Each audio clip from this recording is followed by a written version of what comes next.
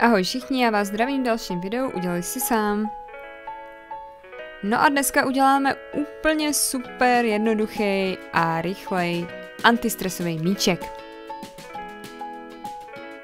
Budeme potřebovat jenom dvě věci. Pastu a malý balonek. Takže praktický je, že to tady prostě uh, jenom očroubujeme, většinou tam bývá folie, tu odtáhneme, no a přetáhneme to takhle přes ten balónek. A můžeme plnit.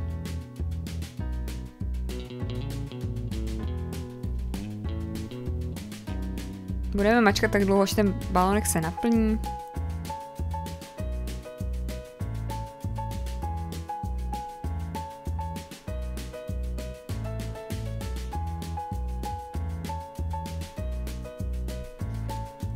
Tak, celou velkou pastu jsem vymačkala. Teď musíme udělat uzlík opatrně. Takže musíme tam najít trošku místa takhle tím, že to natáhneme.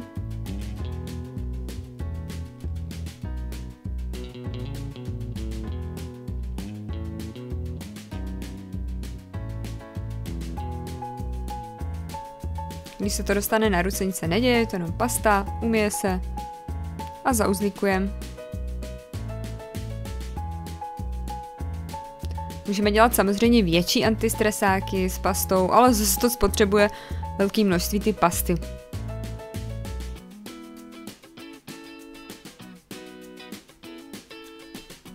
Takže takhle to vypadá. Míček je hotový. Mně se to hodně líbí, přijde mi to dobrý nápad. Uh, jenom teda se spotřebuje hodně pasty, ale dá se ta pasta vlastně použít i potom.